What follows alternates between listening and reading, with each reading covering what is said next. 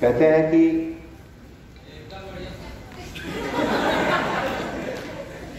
नेतृत्व तो करने वाला अगर दमदार होता है तो कहते हैं सेनापति अगर दमदार है तो सेना ज़रूर दमदार होगी।